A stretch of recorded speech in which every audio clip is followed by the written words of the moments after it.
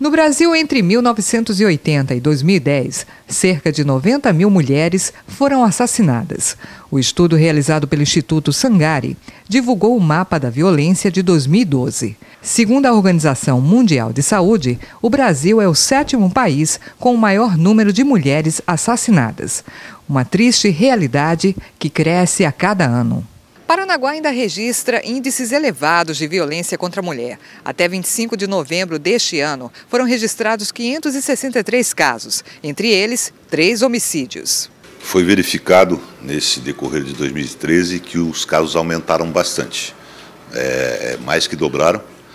É, acreditamos que também é, não tenha um aumento tanto dos casos, mas um aumento é, da procura das vítimas, das denúncias, da procura da vítima pelo auxílio da polícia.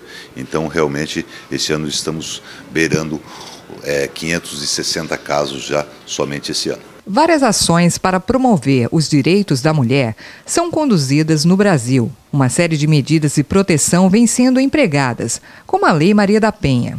Mas ainda há muito o que fazer.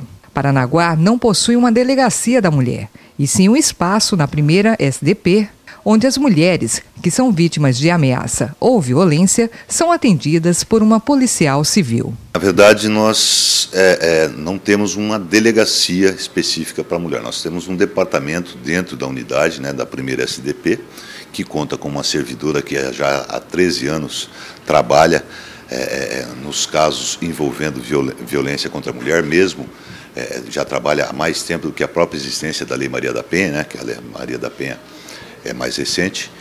É, é, o nosso trabalho é dar apoio a essas vítimas. A partir do momento que ela vem, relata o ocorrido, se for uma situação de flagrante delito, é, o agressor é imediatamente preso. E quando não é uma situação de flagrância, é instaurado um inquérito policial, onde vai ser apurado é, os fatos narrados pela vítima. É, e será encaminhado ao Poder Judiciário de imediato, assim que ela se apresenta na delegacia, um pedido de medidas protetivas para é, garantir a sua segurança. O Judiciário, então, é, defere esse pedido, na maioria das vezes, e ela fica salvaguardada é, contra a agressão é, praticada pelo seu companheiro, pelo seu marido, pelo seu pai, pelo seu filho ou por qualquer que coabite com ela na mesma residência, é, é, são casos atendidos pela é, Lei Maria da Penha.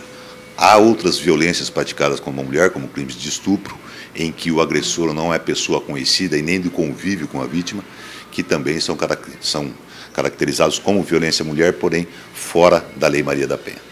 A Lei Maria da Penha prevê a criação de um centro de referência com psicólogos que deve abrigar as mulheres que são ameaçadas. Este centro é uma das reivindicações do Conselho Municipal dos Direitos da Mulher.